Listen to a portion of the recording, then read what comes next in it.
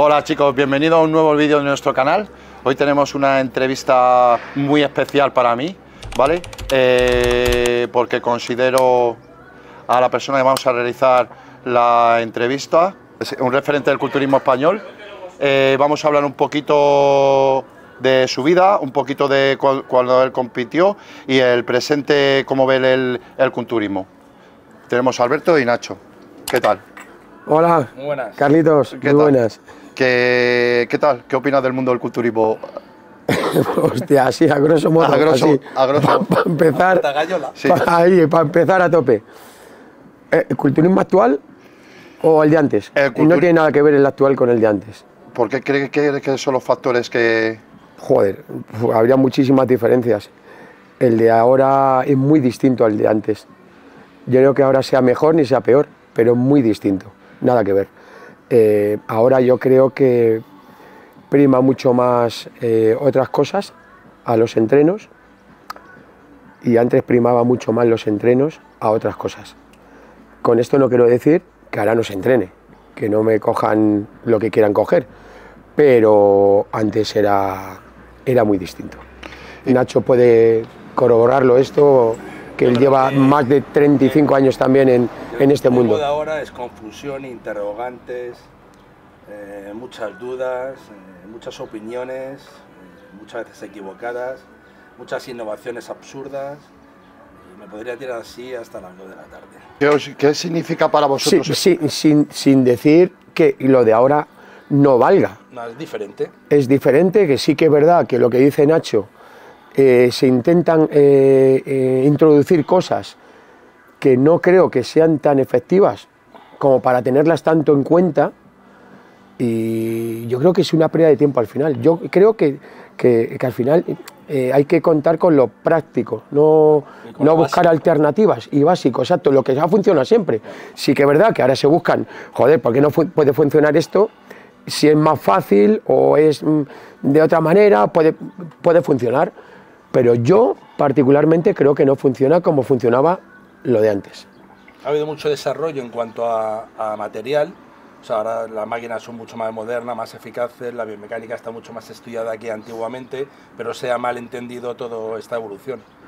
Eso es lo que ha ocurrido. Entonces se ha muchas cosas básicas que eran necesarias para ponerte fuerte y ahora ya, al parecer, ya no, ya no valen. Y es absurdo porque con esas cosas, esas pequeñitas cosas básicas, esos detalles, la gente se puso muy, muy fuerte. No había recursos como ahora. Y ahora hay más recursos, pero la gente está menos fuerte. ¿Por qué? Es esa es la interrogación a todo esto. Eh, una pregunta, ¿qué significa para vosotros el culturismo? Pues una forma de vida, ¿no? Claro, es un estilo de vida. O sea, el culturismo no, no, no, no se acaba y empieza en el gimnasio todo lo contrario. Aquí venimos a machacarnos, ¿no, Alberto? Y quedan 23 horas restantes, o 22 horas restantes. Del claro. del templo, sales por esa puerta y es cuando empieza la guerra. Es cuando empiezas a crecer, cuando tienes que comer, cuando tienes que descansar, cuando te tienes que mentalizar de que mañana tienes que volver, tienes que volver a llevar un plan de nutrición. Esto es lo más fácil, venir a entrenar es lo más fácil. Cuando sales por la puerta empieza lo complicado porque es un estilo de vida un estilo de vida complicado. Entrenar le gusta prácticamente a todo el mundo, ¿no? Eso necesita mucha constancia, mucha disciplina, tienes, hay días que no vas a tener ganas de venir y necesitas tirar de motivación. Es así, o sea, la dificultad está cuando sales de puertas para afuera, no de puertas para adentro, que te lo pasas bien, entrenas bien, estás a gusto, estás Y más estás en un gimnasio con buen ambiente y, con ayudas y tal, luego sales 22, 22 horas restantes es de alimentación, de descanso, de suplementación, de lunes a domingo, de lunes a domingo. Aquí no existen sábados y domingos, todos los días son iguales y eso es lo complicado. Sí que es verdad que eso es lo complicado. quizás ahí donde la gente se equivoque. Que eh. viniendo solo al gimnasio vas a conseguir objetivos que te marquen. Es todo lo contrario. Cuando sales del gimnasio, si lo haces bien, es lo que marca la diferencia. marca diferencia. Sí. Por ejemplo, antes de entrar de la vida de Alberto, de cómo comenzó en esto y tal, ¿qué le diríais a un chico que comience en este mundo y que se quiera poner fuerte, por ejemplo? Hombre, primero te tiene que gustar esto. Yo siempre digo, siempre digo una frase que, que si vienes al gimnasio a ponerte fuerte, no lo vas a conseguir. El ponerse fuerte implica muchas cosas. Tienes que ir al gimnasio porque te guste porque disfrutes haciéndolo. Entonces, el efecto secundario, el daño colateral o las consecuencias que te va a traer eso es ponerte fuerte. Como vengas a un gimnasio a ponerte fuerte, no lo conseguirás, porque vas a durar muy poquito. Esto es mucho tiempo. Queremos las cosas ya. Ahora en una época que queremos ya todo, ya ponernos fuertes, ya correr una maratón, ya eh, boxear, ya... Y es, es cuestión de muchísimo tiempo. El gimnasio lo primero que tienes que venir es a disfrutar, a pasártelo bien, a entrenar, o sea, y luego ya mm, te irás poniendo fuerte, pero poco a poco. Esto no es venir y a los dos meses ponerte fuerte, ¿qué va? no es así de fácil. Que hay que, hay que decir que, que, si tú quieres cambiar tu físico, tu estilo de vida, tienes que, estar, tienes que tener claro que mentalmente vas a tener que va a ser más fuerte que físicamente. Exacto. Si tú no tienes una mentalidad fuerte, es imposible cumplir un objetivo, es imposible cambiar un físico, es imposible eh, cambiar de estilo de vida. Es imposible, por mucho que te obceques, porque vas a pegar un gatillazo uno detrás de otro. Entonces, lo que tiene que tener claro los chavales de ahora es que mentalmente tienen que ser fuertes, porque el camino va a ser largo, y que tienen que tomar una referencia, y no 150.000 en Instagram. Ellos tienen que tener un criterio propio. No, que me han dicho es que este, porque van a tener 2.000 opiniones y no van a sacar nada en claro. Ellos tienen que tener criterio propio y guiarse por sus sensaciones. Por mucho que digan que este ejercicio es el mejor, si a él no, no, no le funciona por su biomecánica, eh, por su forma de realizar ejercicio, por lo que sea, él tiene que hacer caso a su, a su percepción, tiene que, tiene que hacer caso a sus sensaciones. ¿Ok? O sea, no se puede eh, generalizar en, esto de, del entrenamiento, porque Depende de muchísimos factores. Sí que es verdad que hay una base de entreno y esa base es la base, es ejercicios básicos, por eso llaman básicos, porque son básicos para todo el mundo.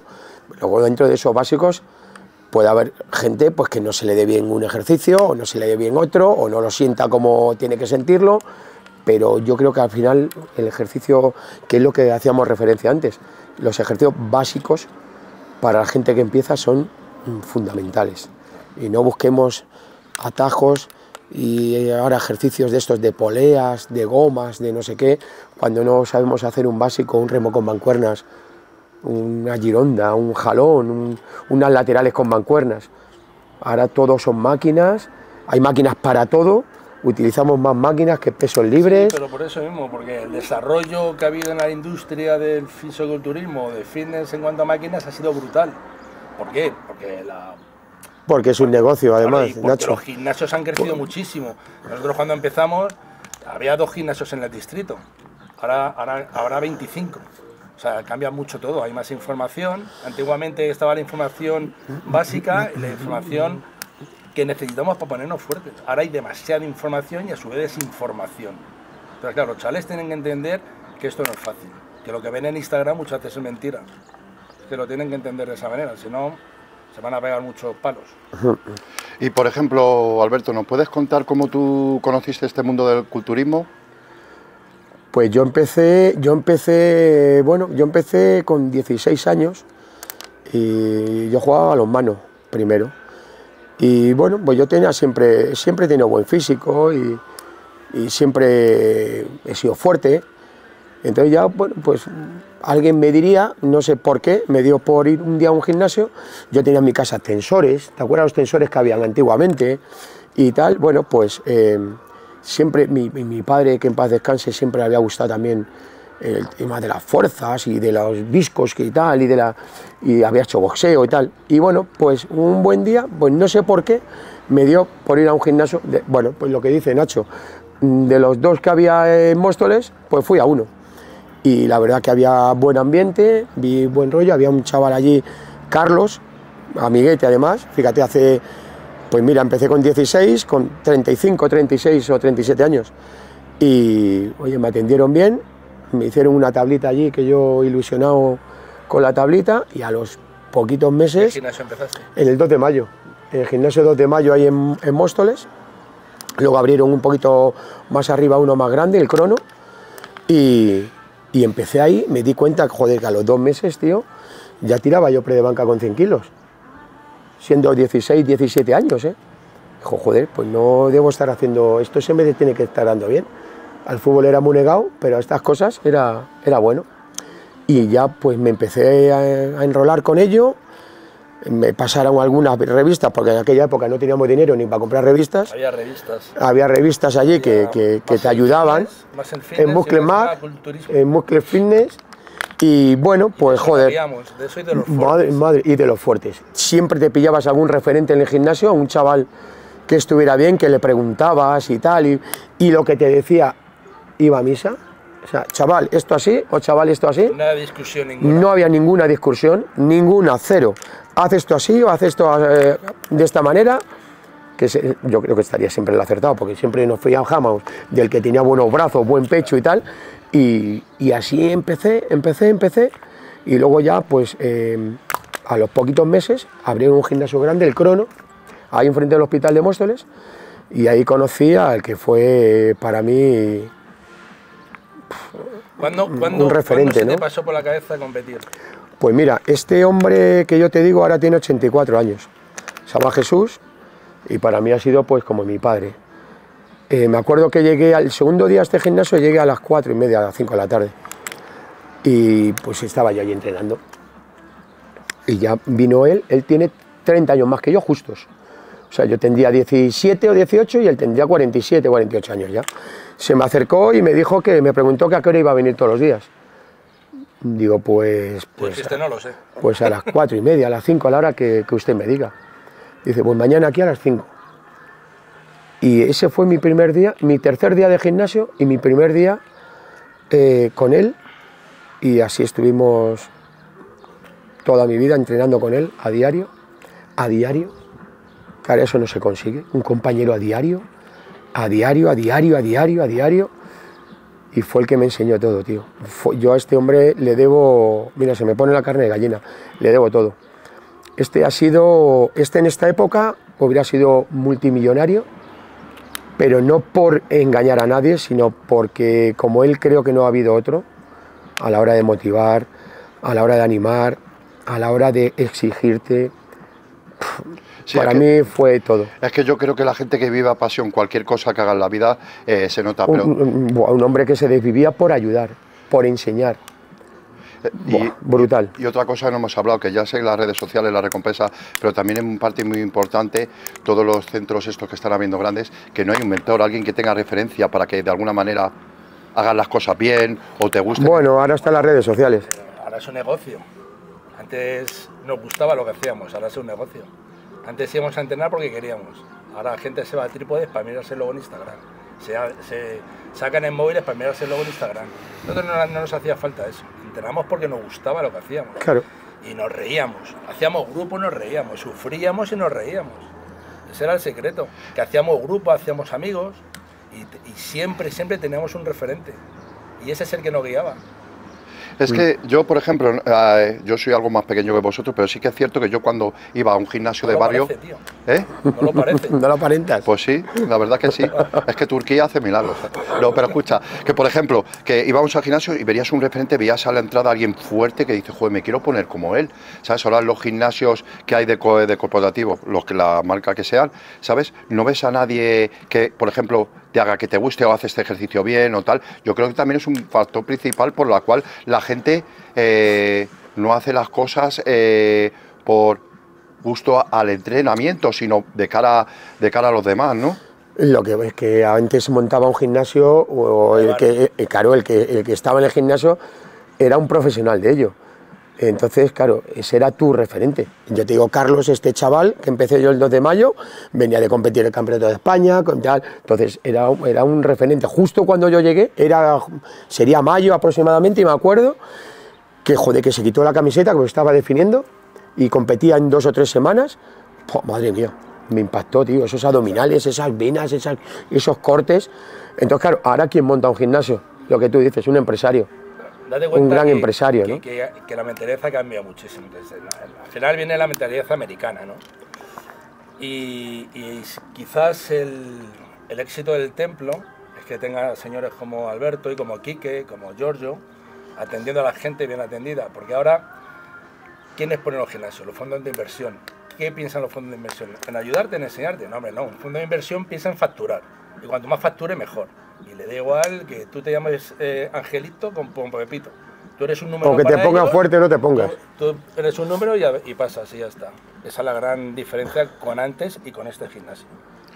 Yo creo que también la parte también muy importante, no sé si estaréis de acuerdo conmigo, es que de alguna manera la gente tenía que tener suficiente nobleza y la gente que tiene mucho más años que, que ellos dejarse llevar un poquito por el conocimiento que tienen esas personas. ¿Sabes? En vez de querer saberlo todo, porque hoy en día hay mucha desinformación, al tener tanta información creo que hay desinformación y dejarse llevar por gente que tiene bastante experiencia en esto. Yo creo que también es uno de los factores bastante importantes en lo que es el, Lo que pasa que en este deporte, tío, es muy fácil tener un ego muy, muy, Sí, muy, muy, muy fuerte, ¿no? Hay mucho ego.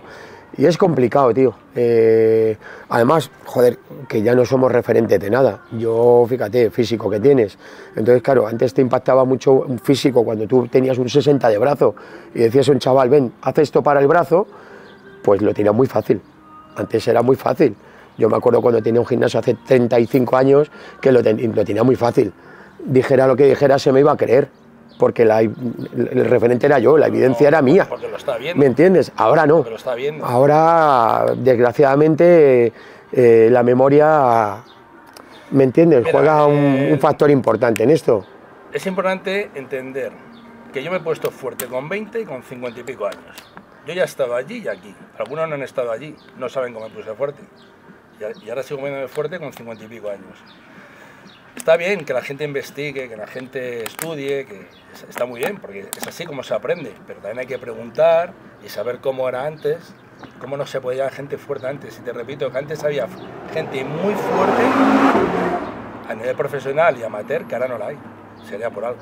Yo, mira, una pregunta que estoy haciendo ahora vamos con el este de competición, pues me interesa bastante pues cuando competiste tú.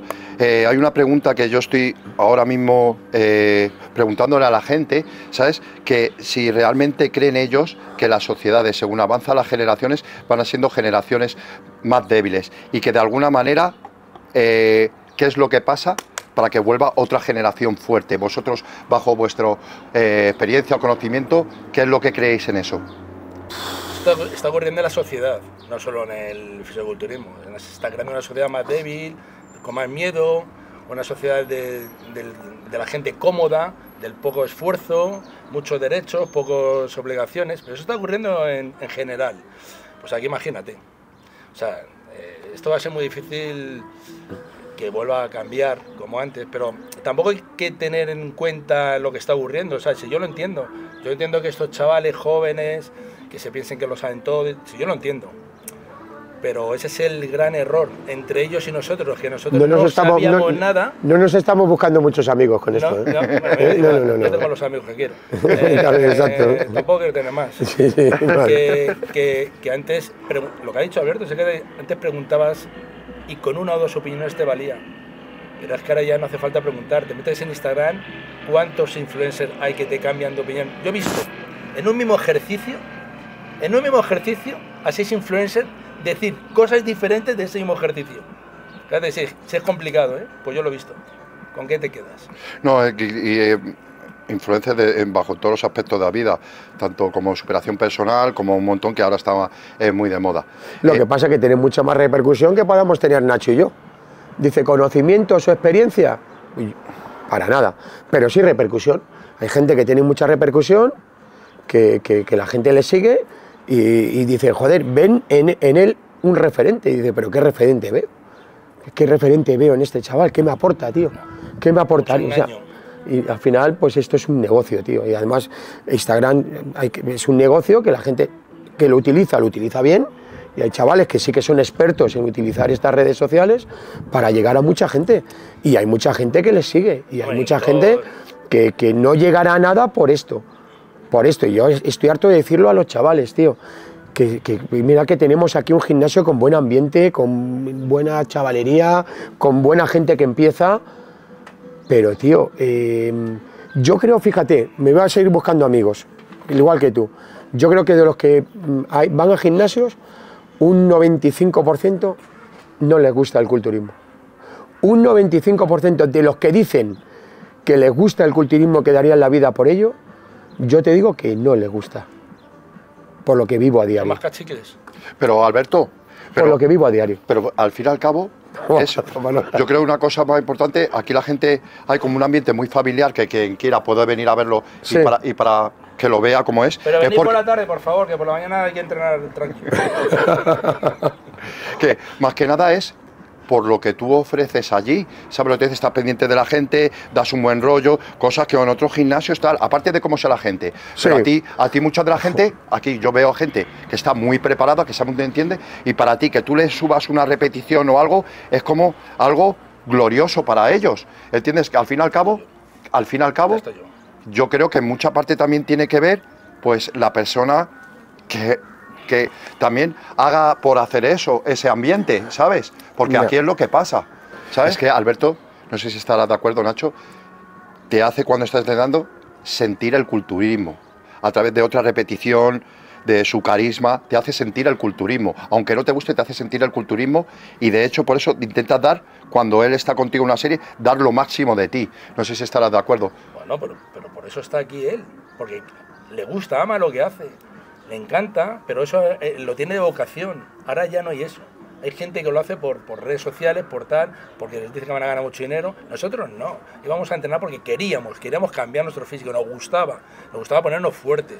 ¿vale? Y Alberto, bueno, y él y yo estamos aquí. Después, o sea, seguimos viviendo ese estilo de vida, esa adrenalina. Seguimos dedicándonos seguimos a ello. entrenando a tope, da- Mm. ¿sabes? Y eso, y eso al final lo que va a marcar de muchos chavales que vamos a ver cuántos siguen hasta llegar a, a- Mira, no les doy más de 10, 15 años metidos en esto. Es, es una pena, tío, es una pena que chavales, y sobre todo que caiga, y ya me voy a poner un poquito serio en esto además, que caiga en manos de gente depravada, Sin escrúpulos, sí. sin escrúpulos, que juegan con la vida de la gente, de los chavales con 18, 19, con ilusión, y que le pueden truncar su vida por solamente, no sé, eh, subirlos a una tarima en ocho meses y que le sigan pagando los 100 euros que le pagan todos los meses y que vean cambios y no, y no a base de alimentación y de entreno y de suplementación sana, que es lo que tienen que hacer. Y esto estoy yo can- cansado ya de decirlo. Eh, pero los chavales quieren todo rápido, tío. Y por eso yo estoy un poco aburrido de... No aburrido este mundo, porque este mundo no me podría aburrir nunca. Pero sí que es verdad que un poquito decepcionado Del ambiente que. que del rodea un ambiente que rodea esto. Y entonces, y además que es que no me importa decirlo, que es que es así, es que los chavales están perdiendo el rumbo a consecuencia de los de los de los eh, preparadores eh, que hay hoy por hoy. No estamos generalizando. Por ¿eh? supuestísimo que no. estamos generalizando. Por supuestísimo que no. Que Hay siempre habrá profesionales.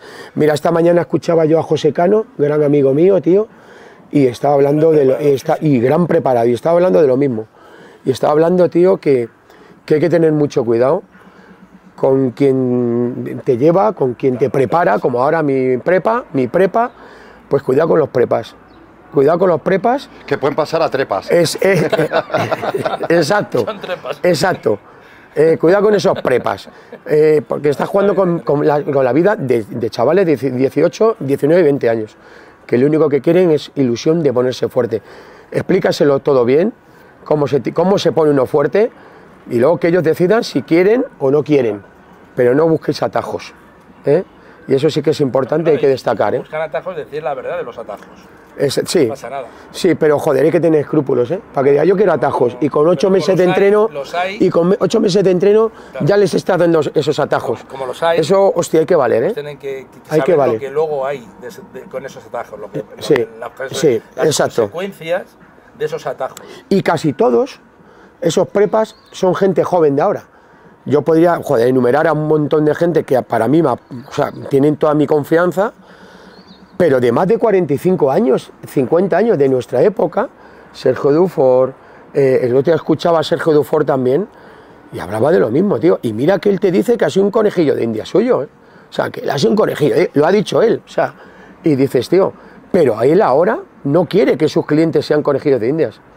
Y eso es lo más importante, por eso se tiene que valorar a un prepa y, y- pagar a un prepa, porque te indique esas cosas, te motive, lo que tú has dicho antes, te motive, te ayude a llevar bien la alimentación, te entrene, todas esas cosas son las que tienes que valorar, no lo que sepan de química, que ahora ya no, es que este, joder, parecen farmacéuticos. Es que yo no entiendo lo de. Yo, sinceramente, os lo digo, no sé vosotros que tenéis más experiencia también, una preparación online. Yo necesito, por lo menos yo, alguien Totalmente en el que poder admirar. Claro. ¿Sabes? Que esté. Pero, pero por cómo se me, me trata, el poder admirarle para que, de alguna manera, tome sentido todo lo que estoy haciendo. Ahora, un- una preparadora online que no está contigo, no sabe lo que estás haciendo, qué tal, que tiene experiencia en preparar a gente así, pero no creo que sea lo más adecuado, ¿sabes? Por- es como que te vas a comprar ropa. Te va a salir mejor si vas a comprar la, eh, la ropa en el sitio correcto, no por internet, que a lo mejor la ropa no te queda bien. Vamos, es una opinión mía. Sí, total, total. Los asesoramientos online es lo mismo. Yo, yo no estoy en absoluto. Yo no lo critico. Yo digo que no estoy de acuerdo con ponerle un entrenamiento durante un mes todo el rato a la misma persona. Joder, yo, yo no mira, Nacho, Nacho entrena aquí, ha, ha tenido bastantes clientes aquí que entrena y me lo dicen, ¿eh? que yo ya muchas veces critico a Nacho en el buen sentido de la palabra, porque la gente tampoco valora eso. Es que él les cambia entrenos a la semana.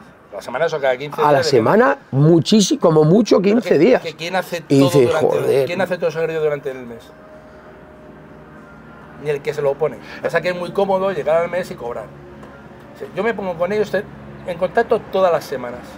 ¿Cuántos días puedes entrenar? Porque si yo le- imagínate que tú les pones un entrenamiento para un mes, ¿vale? Por lo que sea, hay una semana que en vez de ponerle cuatro días o cinco, Sí. están- viene tres. ¿Cómo lo arreglas? Es imposible. Ya, es Pues que no tienes que tener en contacto con ellos todas las semanas. Oye, esta semana, pues muchas veces me lo cambian.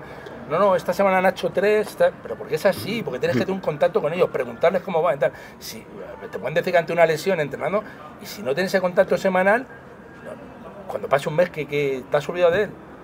Por eso te digo que yo, a mí me gusta tener, cambiar Mucho, entrenamiento como yo lo mucho hago, trato con ellos. y mucho trato y cuidarles, estar, que estén bien atendidos. Y que te cuenten cosas, Que- que sensaciones, cosas, sí, claro. esta máquina no me gusta y se la cambia. Además, yo siempre suelo personalizar en el gimnasio donde están. O sea, siempre me envían vídeos de donde están. Siempre, pues imagínate, esto es otra cosa. Hack. Es que en mi gimnasio no hay una hack. Ah, bueno, pues date tal. No, no, Ya. ya, ya, ya está mal el asesoramiento. Exacto. Ya está mal. Porque ya, ya es un, Tienes que tener más. las herramientas, Quizás tienes que saber las herramientas que tienes. una plantilla para muchos. Y no esté personalizándote. Ya empezamos con el engaño, que hay muchos. Ya. Porque yo los he visto.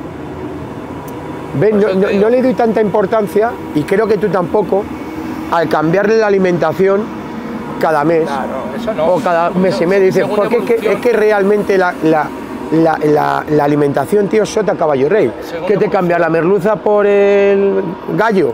O el gallo por. Porque, o sea, ese es que al final es pescado y es pollo y es. O sea, ahí sí que es verdad que yo no haría tanto. Va por evolución.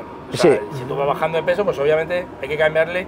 Hay que subir un poquito calorías o Claro, bajarle. eso es, los macros hay que cambiárselos porque, claro, si va bajando de peso, el superávit que va a tener del anterior está claro. Entonces, cuanto más peso baje, hay que quitarle calorías. Ya. Sí, eh, perdonar un poquito, que es que hemos improvisado aquí el estudio Estamos fuera, en plena calle. Porque es la entrada de la primavera y lo que hemos querido reflejar Y salen haciendo, los tanques. a- haciendo, haciendo el directo fuera. Así que perdonar si alguna vez el sonido pues, no está bueno. Vale, vale ahora está interesadísimo muchísimo en No. que nos contaras Hostia. la competición. ¿Cuál- La es competición. Tu primera competición. Joder, la, la primera competición fue un fracaso, niño. Joder. Un ¿Sí? Joder. La primera competición, fíjate, eh, en- ¿Dónde competiste? pues competí en un triangular que había, que nunca se me, se me, se me olvida, un triangular que había eh, Tomelloso, Ciudad Real y no sé, eh, Trujillo, era ah, Extremadura, un triangular que había ahí de varias de, de varias em, comunidades, ¿no? Sí. Extremadura, Ah. no sé qué, no sé cuánto, varias. Claro, antiguamente tampoco, fíjate, en Extremadura, los culturistas, los locales no era como un campeonato Madrid, que un local de Madrid sí había gente. En Extremadura dice, hostias. Entonces era un triangular, eh, Castilla-La Mancha, Extremadura y Levante. Castilla-La Mancha, Extremadura y Levante. Ese era el triangular. Y bueno, pues yo me presenté ahí con mi maestro, con Jesús, con el que digo, allí con el tinte echaba allí, madre mía. La primera vez que yo me echaba tinte, y nada, pues, eh, o sea, yo, joder, si te digo yo que me voy a algún batido de proteína, a lo mejor hasta miento, porque no tenía un duro, entre otras cosas. Nada, no tenía un, puñetero duro. Entonces eh, fuimos ahí, había un amiguete mío que tenía un gimnasio en Extremadura, José Díaz, y dice, pues coño, yo te vente para acá, que yo te escribo como el que estás en el gimnasio y así puedes competir en el de Extremadura. Ah, vale, vale. Y, y competí ahí, en el de Extremadura.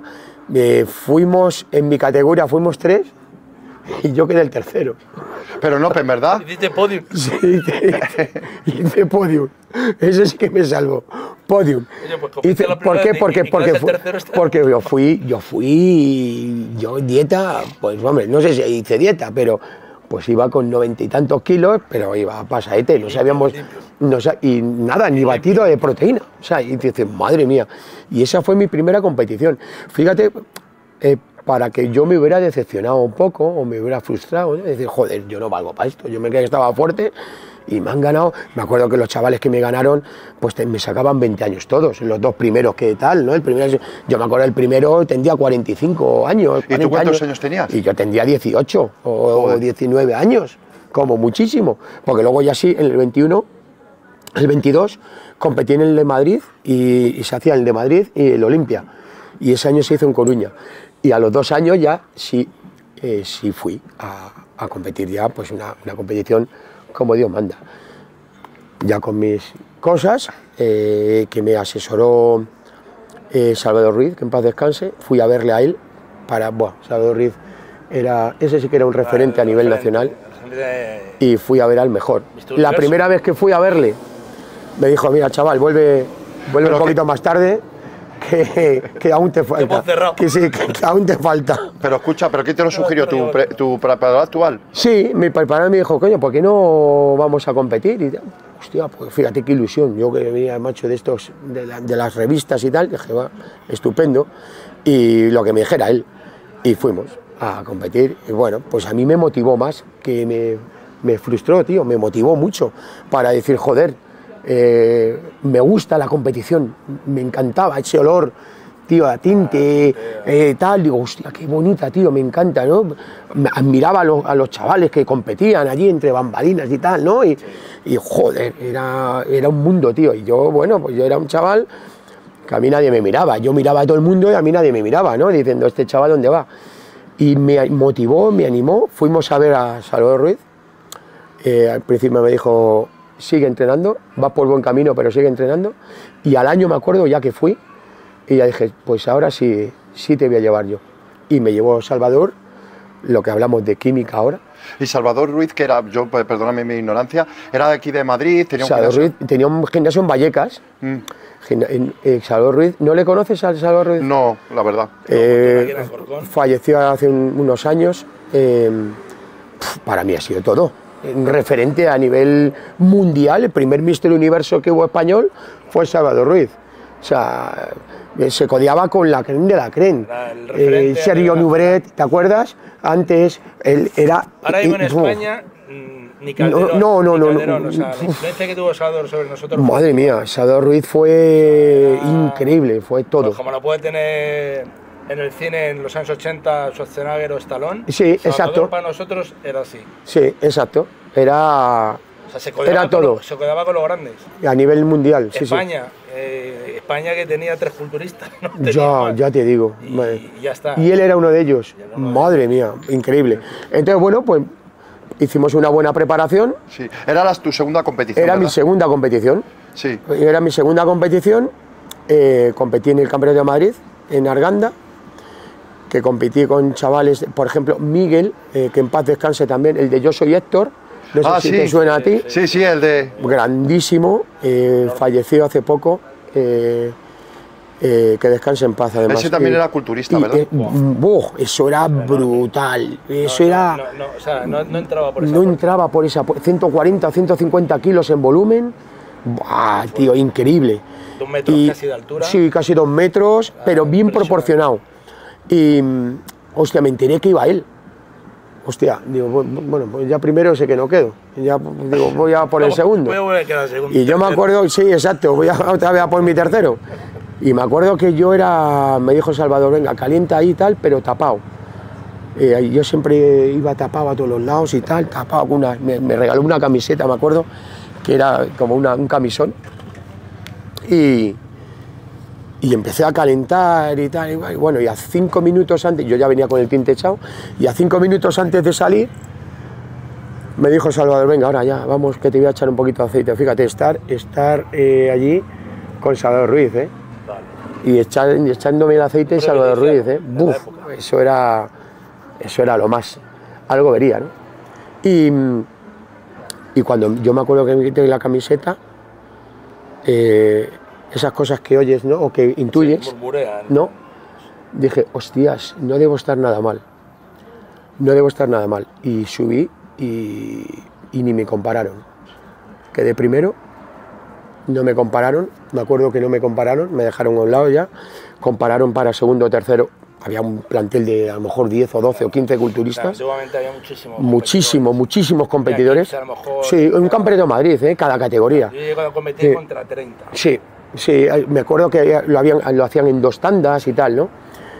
Y ese fue mi primer campeonato, mi primera victoria. Madre mía, no me lo creía. Estoy. Estoy re- rememorando Pero, aquellos tiempos, oye, tío. Una, pre- una pregunta, ¿estaba ya, ¿estaba ya con Silvia o no? No, Silvi todavía no Vale, me Luego conocía. eh, Silvi todavía no me conocía. No. Silvi todavía no me conocía. Con Silvi llego, llego no, no, no, no, no. No, y luego la semana siguiente era el Mister Olimpia, que aquí en España ahora hay, muchos campeonatos. Antes el Mister Olimpia era Una eh, federación fuerte. top, el campeonato FB. top por excelencia. Era el que, el que iba, estaba fuerte iba a la Olimpia. Ni tan siquiera el campeonato de España. No, no, no. no. Ni tan siquiera que No, no, el campeonato de España estaba por debajo era del Olimpia. O sea. Sí, era, era, Iban los mejores de los mejores. Era lo mejor. Alberto, y una pregunta, ¿cuánto Sí. tiempo transcurrió de tu victoria en el Campeonato de Madrid hasta Sí. el Mister Olimpia? una semana. ¿Una semana nada más? Una semana. Si- Siempre lo hacían, eh, Seguido casi para siempre lo hacían seguido para no que. el punto los competidores. Claro, o sea, claro. Lo hacían seguido para que los competidores no perdieran ese punto y se desanimaran y, y agarrarles. Primero eran todos los regionales, campeonato. eh, se ponían de acuerdo el de Canarias, el de Baleares, el de Barcelona, se ponían de acuerdo esa semana para que todos los campeones de sus eh, Claro, regiones pudieran acceder al Olimpia. No iba cualquiera al Olimpia, tenías que haber quedado No, eh, los campeones. sí, los dos, Los- tres no, primeros puestos de cada zona, ¿no? Entonces yo me acuerdo, ese siempre se hacía en Madrid, siempre se hacía en Madrid. Pero una pregunta te iba a Sí. perdóname. Ese, ¿Eso te era, era como el carnet profesional de IFBB si lo ganabas? No, no, no, no, tú ahí competías amateur, esos eran campeonatos Ah, vale. todos amateur. Vale. Antes era como, no, antes era como la- los profesionales que era como la NBA. La NBA, los profesionales de antes no podían competir en un campeonato de Europa ni un campeonato del mundo, eran profesionales, ¿vale? Era como la NBA antiguamente. Entonces, eh, bueno, pues hicimos una buena preparación esos cinco días, afinamos un poquito más. Fíjate, me acuerdo que yo fui a Madrid con 96 kilos y en el Olimpia fui con 93, 3 kilos menos, afiné esa, esa, Condición. esa semana, sí. Y bueno, se hizo en Coruña, precioso el pabellón, muy bonito, y lo hicimos en, en La Coruña. Vino por supuesto Salvador, bueno, pues eh, muchísima gente, tío, de Canarias, de tal y cual. Vino, eh, entonces, eh, fueron dos días, antes hacía dos días, acuérdate, la preselección el sábado, y los seis mejores íbamos al domingo a la final, ¿vale? Entonces, joder, salimos en peso pesado, joder, eh, no sé, 20, 30 personas, 30 competidores, atletas, todos buenísimos. Además, un compañerismo, allí en el hotel se hacía el pesaje y tal, ¿no? Y, y se hizo por la noche el sábado, nos metimos en la final, el top 6 para el, para el domingo, pero joder, había un, un cabrón allí, un cabrón, que ojalá me escuche, eh, Juan Antonio Hernández Jocha, Sí, Ojocha, Canario. que no le he visto yo tan fuerte en, mi vida, tío. Y mira que es un tío fuerte, porrudo, También. enorme. Ah, tío, qué condición, Alto. tío. Qué condición, qué... era grande y estético. ¡Brr! Increíble. Y tío, no le he visto en esa forma física nunca, tío. Qué cabrón. Pero ¿cómo vienes así, tío? Acojonante. Entonces, él quedó primero y yo quedé segundo de mi eh, categoría. Entonces, los dos primeros de cada categoría iban a, a un absoluto, que ahí es donde estaba la pasta. Ahí donde íbamos todos a por el Open, ¿no? Entonces, los dos primeros de categoría, de- de- empezando por Batanway, menos de 65 kilos, que no vean lo que daban de sí, los menos de 65, Lizcano, esa- madre mía. Eh, David Pérez, había un chaval brutal, buah, increíble. Pues los dos primeros competimos por, por el día siguiente, por es absoluto, que es el mismo día. Entonces, eh, yo, ya, yo ya con quedar segundo detrás de Jocha, a mí ya me valía, ya digo, ya ves que me da igual. Y en absoluto quedé cuarto, quedé cuarto. Eh, Jocha ganó el absoluto, por supuestísimo. Tercero me acuerdo que quedó, fíjate, me acuerdo, Vicente Bueso. Tremendo también, tremendo, Vicente Bueso, fuerte. Le vi el otro día por el Instagram este, joder, chaval, increíble, los físicos más, bonitos que ha tenido este país y, masivo. Era semipesado. Tercero, em, este chaval de Extremadura, ¿cómo se llama este chaval? Eh, se me ha olvidado, tío. Salcedo, Antonio Salcedo, tercero, un ligero de 65 a, no, de 75 a 80, semipesado ligero, y yo cuarto, y yo cuarto. Así que eso fue, y luego ya, bueno, descansamos ese añito, antes no se podía competir, porque no aguantabas mm. esa... Y luego ya, pues nada, pues descansamos, no sé, fueron un año o dos años, y fuimos a por el internacional, que ahí es donde conseguí el carnet pro, en, en Colombia. Fuimos tres o cuatro seleccionados, fuimos cuatro seleccionados en Colombia y ahí gané a lo que siempre me harto en decirlo y para mí es, fue un tío espectacular como atleta y como persona. Luego he tenido contacto con él hasta que falleció, Gustavo Badel, que quedó un top 3 en Olimpia y estábamos ahí codeándonos cara a cara, yo en la, la, tarima con él. Venía de Estados Unidos para conseguir el carnet pro y se lo, se lo quité yo. Gané yo el, el, categoría y el absoluto. Y bueno, pues ese ha sido mi, mi palmarés y mi carrera de atleta deportiva, de competición.